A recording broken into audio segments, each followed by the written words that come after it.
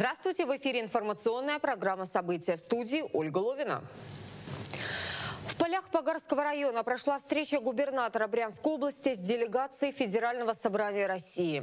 Александр Богомаз рассказал депутатам Госдумы и членам Совета Федерации о том, что сельское хозяйство может быть прибыльным даже в нечерноземной зоне. Главное – научный подход и любовь к своему делу. Из Погарского района репортаж Александра Новикова. Буквально пару дней назад здесь же, в Погарском районе, рядом с селом Бобрик, прошел областной семинар для сельхозтоваропроизводителей. Эта форма обмена опытом несколько лет назад была предложена губернатором Александром Богомазом. Когда-то он и сам ездил по Германии, перенимал опыт немецких аграриев. Вот только иностранцы не спешили раскрывать свои секреты. Я в Германии был по 20 раз у разных хозяйств, потому что там очень сложно, все кто-то рассказал. Вот сегодня мы в Брянске проводим семинары, и буквально семинар был, когда здесь был? Два дня назад, да? И рассказываем, как получить, как этого добиться. В Германии никто тебе немец не скажет. Он скажет так, что вот в общем, вот в общем, вот в общем, в общем. Теперь же глава региона сам делится опытом со всеми брянскими земледельцами. Никаких тайн. Все во имя одной цели – развития сельского хозяйства. Сразу мы поставили эту задачу. То есть мы должны или научить людей, помочь им, или да, помочь, чтобы не продали, чтобы людей не мучить. Лучше он пусть продаст, получит деньги, если он уже купил эту землю. Вот. Или научить. И мы научили. Такая работа приносит свои результаты. Цифры гостей поражают. Брянская область в лучшие годы советской власти производила миллион. Пять лет назад, когда я начинал работать, вот, Брянская область производила 735 тысяч тонн. Это зерно, это зерно. В прошлом году у нас было миллион 890, то есть 2 миллиона. И в позапрошлом году был такой же самый урожай. Но в прошлом году у нас в Брянской области была засуха, которой старожилы не помнят на протяжении последних 40 лет. Я думаю, что у нас озимые, ну, в среднем где-то центров 70-75 мы получим на озиму. И 3 миллиона тонн зерна в этом году мы должны собрать. Если вот так подходили, вот, то мы в этом году, по сути дела, 4,5 раза увеличим производство зерна. Если столько Россия привезла, некуда было девать. Ежегодно у нас собирают миллион тонн кукурузы. Брянщина уверенно наращивает производство и другой популярной культуры – рапса. В прошлом году мы были уже в пятерке по урожайности, в этом году мы будем первые. В стране по урожайности рапса мы будем первые. Гости из Федерального собрания интересуются, как удается добиваться таких результатов и можно ли внедрить брянский опыт по всей России. С чем мы приходим? К тому, чтобы все было сделано по технологии. То есть нужен калий, нужно калий дать. Нужен фосфор, нужно фосфор дать. Вот. И это плюс плодородие почвы, потому что если калий мы даем, то 50% забирается в первый год, остальное остается. Фосфора 20%, остальное остается. И нужен азот. И всего оборот. Поле в Погарском районе только один пример того, как нужно с умом возделывать землю. Если не подведет погода, то есть шансы попасть в книгу рекордов Гиннесса по урожайности зерна. И здесь потенциал в пределах 200 центнеров. 200. То есть не 20, не 15, не 10, там, не 30, когда когда-то давали в советское время 28... Это мечта была всегда. Да, 20, 28 центнеров, нет, 28 центнеров давали герои труда. Соблюдение технологий, удобрения, севооборот. Но и этого недостаточно для успешного развития сельского хозяйства. Есть и еще один секрет. Тяжелая, сложная работа. Для этого надо полюбить землю, чтобы так заниматься. Если нет любви, ничего не будет. Красиво. Красиво. Красиво. Но этим нужно заниматься. Заниматься нужно всем. Это, так сказать, то, что растет. Да, это как живой организм. То есть Да, чем больше, организм, чем да. больше любишь, тем больше внимания оказываешь, тем лучше отвечает. Поэтому, ну что, мы желаем вам успехов, вот, чтобы, во-первых, и урожайность была, вот, ну и чтобы Будем теперь наблюдать да, население, за рекордом. да, насе- население, чтобы, Заинтриговали. чтобы вы зацепили Депутаты Госдумы и члены Совета Федерации покидали поле пораженными. Об успехах брянских аграриев говорят на самом высоком уровне, но лучше один раз увидеть, чем сто раз услышать. Александр Новиков, Денис Пашков. События. Погарский район. Инициатива приветствуется. Дизайн-проект кольца напротив ДК железнодорожников предложили сделать жителям Брянска. Фокинский район преображается. Не так давно на площади у памятника Игнату Фокину построили разворотное кольцо. Это развело потоки машин и существенно сократило пробки. Теперь нужно это кольцо облагородить, сделать его красивым и функциональным. Разработать концепцию внутреннего убранства кольца предложили жителям города. Свой дизайн-проект площадки вы можете представить в районную администрацию.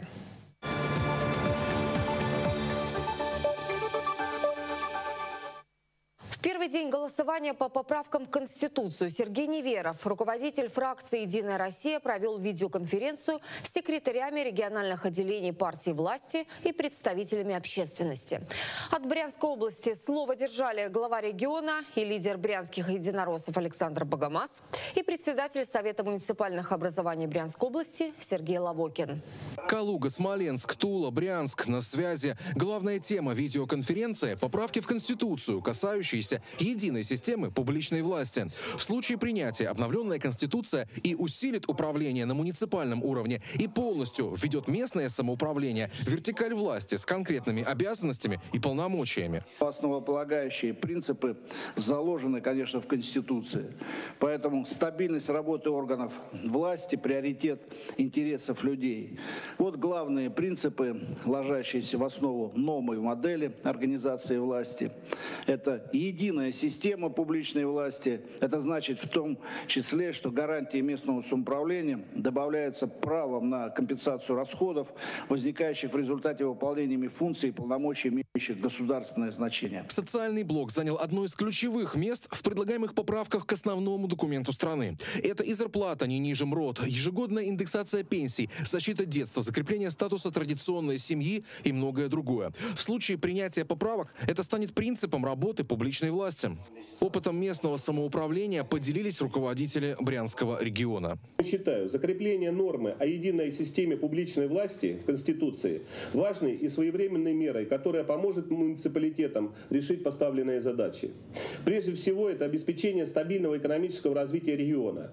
Важной частью этой работы является закрепление людей на селе.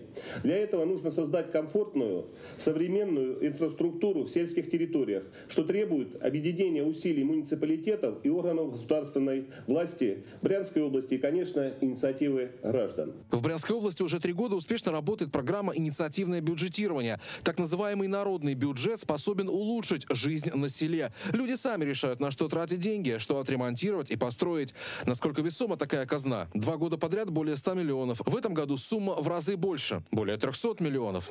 Не обошли стороной и пандемию. Последние три месяца стали проверкой для власти, в том числе и на взаимодействие взаимодействия по муниципалитетам. В короткие сроки области налажена работа пяти диагностических лабораторий мощностью полторы тысяч тестов в сутки. Развернуто более 1700 специализированных коек для лечения больных коронавирусом. Налажено производство защитных масок до 120 миллионов штук в месяц.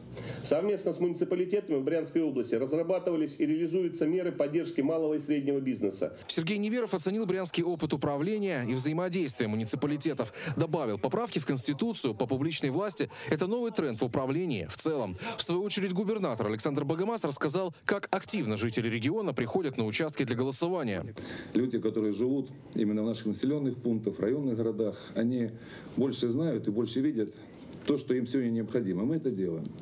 Вот. Ну и, конечно же, те поправки, которые сегодня вот мы уже голосуем, поправки в Конституцию, вот, работа идет, и мы понимаем, что это не только поправки, это еще плюс и поддержка тех инициатив, которые выдвигает наш президент Владимир Владимирович Путин. Вот, ну и если анализировать прошлые выборы, у нас было 80% явка, 82% за президента. Я думаю, что мы от этих как бы ориентиров мы не отойдем, а должны их еще выучить. Вы э, очень много делаете э, сегодня в регионе, вы очень много делаете на поддержку наших партийных направлений. Очень хорошо, что э, те средства, которые у вас увеличиваются по поддержке и развитию структур местного самоуправления, увеличиваются. Готовы всегда тоже в этом с вами сотрудничать, помогать во всех направлениях. Александр Васильевич, спасибо за то, что еще раз хочу сказать с нами сегодня.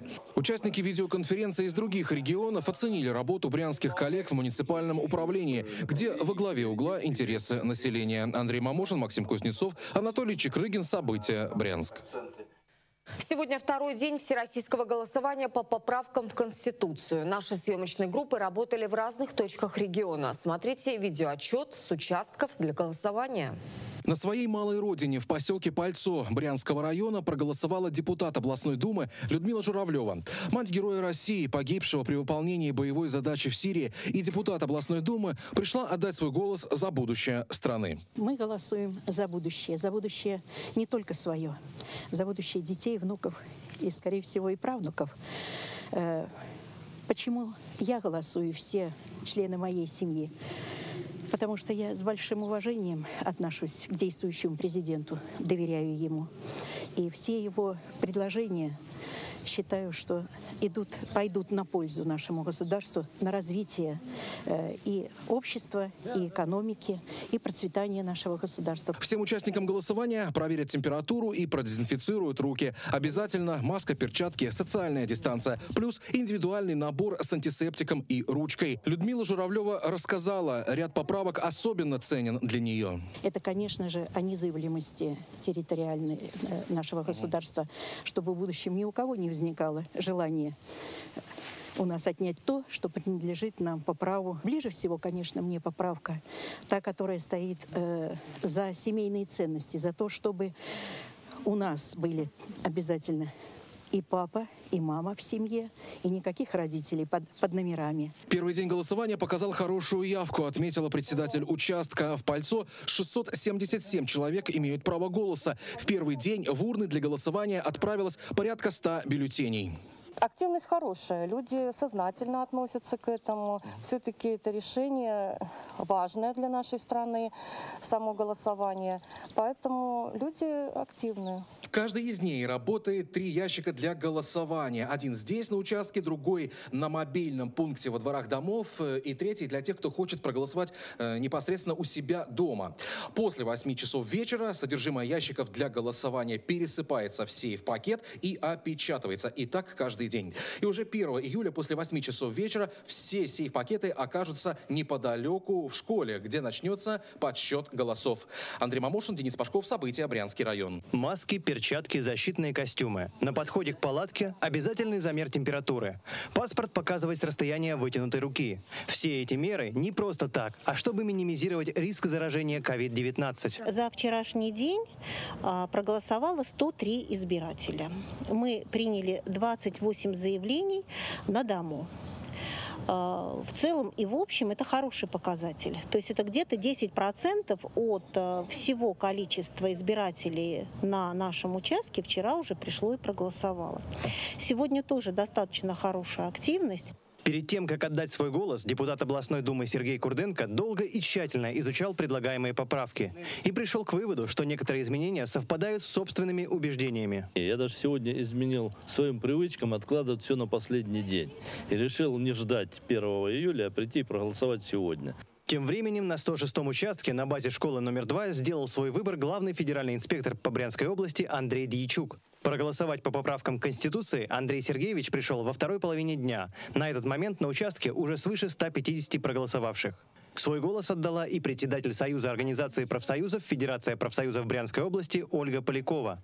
Она посетила участок возле Брянского государственного университета. Я считаю, что в нашей Конституции, в Конституции страны должны быть записаны те вещи, те основные положения, которые улучшают жизнь каждого россиянина. Напомним, среди поправок в Конституцию признание культуры Российской Федерации уникальным наследием, поддержка волонтеров, установление русского языка государствообразующим, защита семейных ценностей, доступная и качественная медицина и социальные гарантии. Игорь Умаров, Игорь Венечук, События Брянск.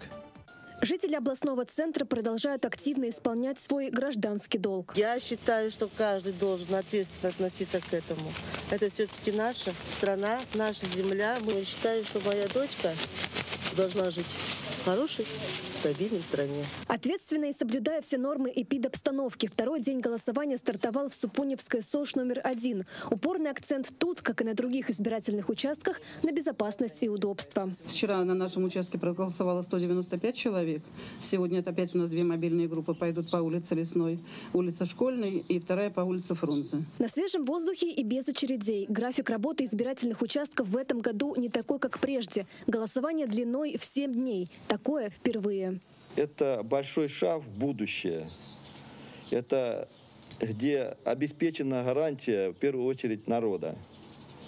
Ну и я так думаю, что и нашего будущего. Уникальный формат оценил и депутат Брянской областной думы Михаил Иванов. Свой выбор он сделал на избирательном участке номер 142. Те изменения, которые вносятся, они судьбоносное значение имеют. Они будут касаться не только нас самих, это будет касаться наших детей, наших внуков, потому что те основы, которые там заложены, они нерушимые. Это и социальные вещи, это и э, заработная плата, это и минимальные размеры, и такие вещи, которые меня очень волновали всегда территориальная целостность нашей страны. Активно идет голосование и на участке в поселке Путевка Брянского района. Здесь, на территории Снежской гимназии, граждане выражают свою волю. Не менее популярны и мобильные участки для голосования по соседству с поселком. Есть и те, кто пожелал проголосовать на дому. В течение недели мы принимаем заявки и планируем провести где-то вот в последнюю 30-го, 29-го, чтобы, в общем-то, обслужить тех желающих, которые хотят проголосовать на дому.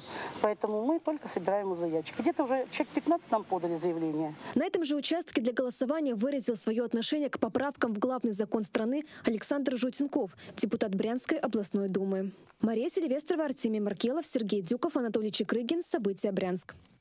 Возможность проголосовать в удобных для себя условиях реализовали постояльцы и сотрудники Новозыбковского дома-интерната. Социальное учреждение оказывает услуги пожилым людям и инвалидам. Старики и бригада сотрудников проживают в полной изоляции, поскольку находятся в зоне риска по коронавирусу. Однако все они приняли активное участие в голосовании по поправкам в Конституцию Российской Федерации. Общероссийское голосование по поправкам в Конституцию продолжается. Кроме вариантов проголосовать на участке и во дворе, у граждан есть возможность отдать свой голос и из дома. Маски, перчатки, защитные костюмы. И обязательно дистанция. Бюллетени вместе с урной для голосования выездная комиссия оставляет на скамейке и сразу отходит. Проголосовать по поправкам в Конституцию люди могут также на дому. А, для этого необходимо оставить заявку, оставив координаты с номером телефона а, и с желанием проголосовать на дому. Затем члены избирательной комиссии связываются а, с теми, кто выразил желание, записывают адрес и сообщают время, когда комиссия подъедет. Причины проголосовать дома у всех разные. Кому-то так удобнее, кому-то просто некогда. Но чаще дома голосуют из-за заботы о тех, кто рядом. Этим мы воспользуемся, потому что у нас вот еще э, мама, ей 90 лет. И поэтому идти она сама туда на голосовой пункт не может. И поэтому здесь решили, попросили, чтобы приехали, на проголосовали. Чтобы проголосовать из дома, надо обратиться в участковую комиссию, согласовать дату и время. Сделать это можно до 1 июля включительно, до 17 часов вечера. Игорь Умаров, Игорь Винчук, События Брянск. Наша съемочная группа прибыла на участок для голосования перед его закрытием. Как опечатывают переносные ящики и где хранятся бюллетени, знает Дмитрий Белов.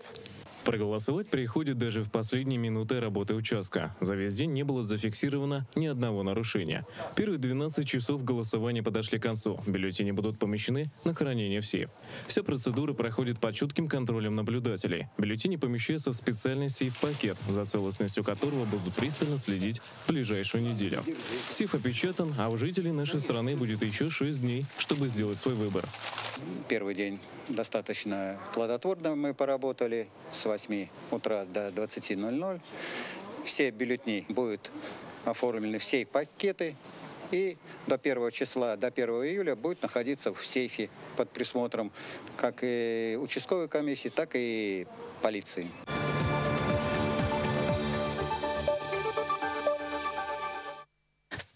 Лет исполнилось Погарской сигаретно-сигарной фабрике. С юбилеем работников предприятия поздравил вице-губернатор Брянской области Александр Резунов. Он вручил грамоту Министерства сельского хозяйства Российской Федерации за многолетний добросовестный труд в системе агропромышленного комплекса России председателю Совета директоров фабрики Игорю Моисееву. На юбилей прибыла представительная делегация Федерального собрания России.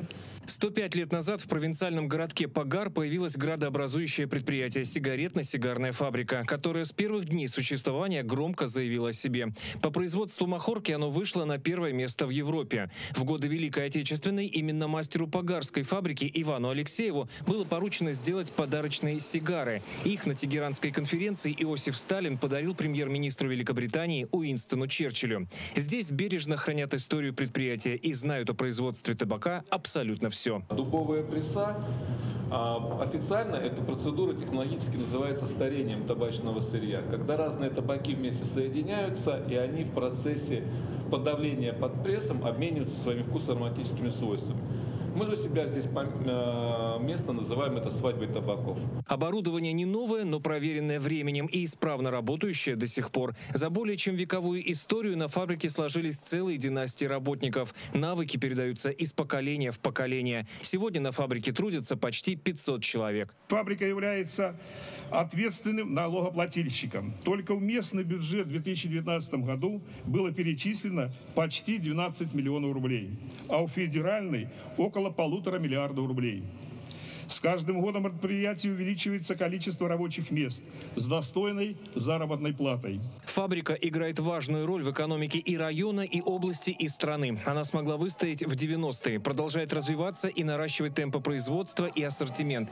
И в этом заслуга коллектива и его руководителя. Вице-губернатор Александр Резунов вручил председателю Совета директоров фабрики почетную грамоту Министерства сельского хозяйства России за многолетний добросовестный труд в системе агропромышленного комплекса комплекса. За последние 25 лет в истории страны многое изменилось, но главный итог в стране – это то, что Россия стала сильнее. И мне очень приятно сегодня констатировать то, что мы в ногу со всей нашей страной, наше предприятие тоже стало сильнее. Перед предприятием стоят новые задачи. Нужно переходить на собственное сырье. Государство в этом обещает поддержку. Все, что мы можем производить в своей стране, самолеты, авиацию, пароходы, табак, выращивать и производить продукцию мы должны делать сами. К юбилею на территории фабрики открыли единственный в Евразии памятник сигаре. Александр Новиков, Денис Пашков. События «Погар».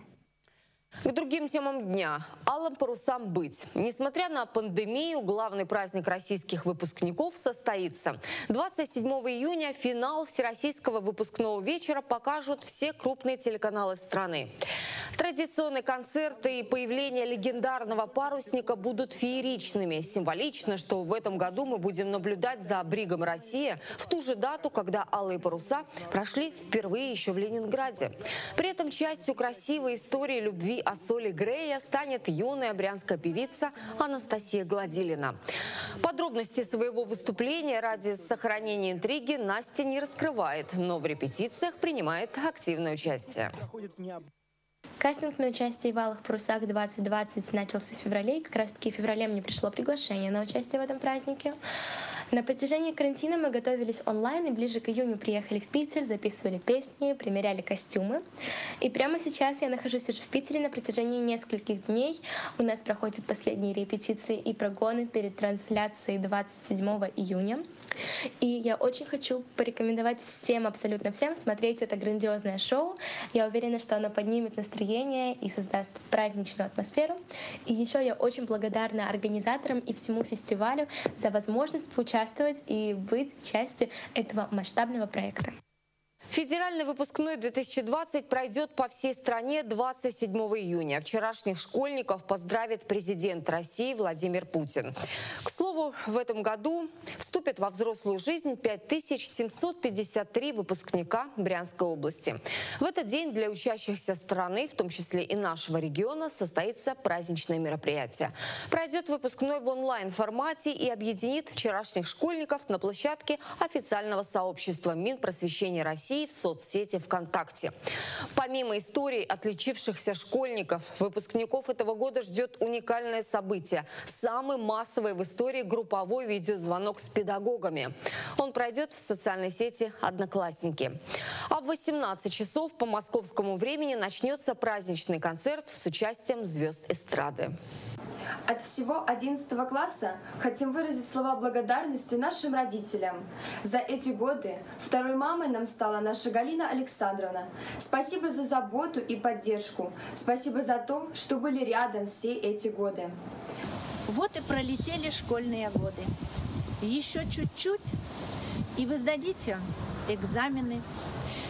И откроется новая широкая дорога взрослой жизни. Я сегодня хотела бы сказать слова благодарности не только, ребята, вам, но и вашим родителям. Один из самых волнующих моментов в жизни каждого человека – окончание школы. Сегодня вы вспоминаете лучшее, что было за годы учебы. Стоите на дороге серьезных, ответственных решений. Вы молоды, полны сил, энергии, больших планов на будущее. Никогда не останавливайтесь на достигнутом. Набирайте знаний и опыта. Стремитесь стать успешными в дальнейшей учебе. На улице Новосоветской Брянска водитель автомобиля «Шевроле» допустила наезд на 81-летнего велосипедиста. В результате ДТП пенсионер с различными травмами был доставлен в больницу, где спустя пять дней скончался. К сожалению, пожилые люди составляют определенную группу риска. Только за неполный июнь этого года на территории областного центра зарегистрировано 10 ДТП с участием людей пенсионного возраста. В целях профилактики дорожно-транспортных происшествий с участием этой категории граждан сотрудники госавтоинспекции вместе с волонтерами провели акцию «Дорожный ликбез». Зачастую пешеходы преклонного возраста переходят проезжую часть в неположенных местах перед близко идущим транспортом. Передвигаются на велосипеде с нарушением правил дорожного движения. Некрепко держатся за поручни в общественном транспорте. А в силу возрастных изменений пожилой водитель не всегда может адекватно оценить обстановку, подвергая свою жизнь и жизнь других участников дорожного движения неоправданному риску. В ходе разъяснительных бесед полицейские волонтеры вручали пенсионерам тематические памятки. Особое внимание правилам поведения в автобусах, безопасному переходу проезжей части дороги, а также правилам управления велотранспортом. Кроме того, с 26 по 28 июня в Брянске сотрудники ГИБДД проводят очередной этап операции «Вело», необходимость которой вызвана неутешительными цифрами статистики. В группе особого риска находятся пожилые участники дорожного движения и дети. Ольга Ловина при содействии пресс-службы ГИБДД города. События Брянск. Музей-заповедник Федора Тютчева в селе Овстук Брянской области открылся. Всех жителей региона усадьба ждет на тематические экскурсии.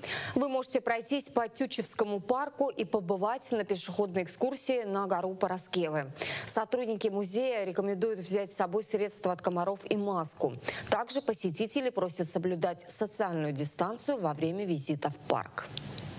Это была последняя информация выпуска. Всего доброго и до встречи.